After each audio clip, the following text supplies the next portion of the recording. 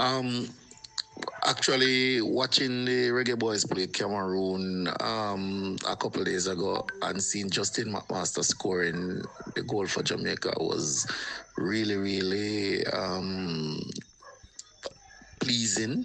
and fulfilling in a lot of ways. Um, my first stint as head coach of a national team, the Jamaica under 17 team in 2014 15, um, Justin was uh, one of the two strikers that we used um, in the preliminary round of the campaign. Um, he scored four goals for Jamaica in that first game against the US Virgin Islands. Um, and he has a lot of potential, or he displayed a lot of potential as a striker back then. And he would have gone on to play again in the Caribbean Championship round. I don't quite remember the details of all the goals that he scored.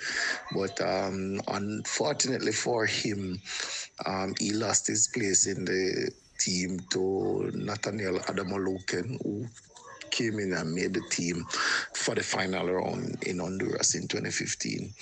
Um, but Justin went away on scholarship, um, went to university in the States, and is now playing professionally. And that's just amazing the progress that he has made.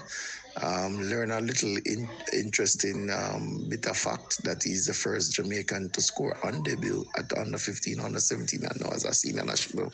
And that's an interesting um, record and one that he should personally be very proud of.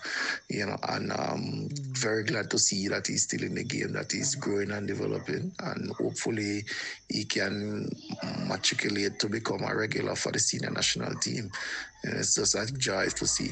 Uh, that game in particular, though, um, just to add, um, very interesting the number of players that I would have worked with who were a part of that team. Um, the goalkeeper Jahmali Waite was a part of that said team with Justin.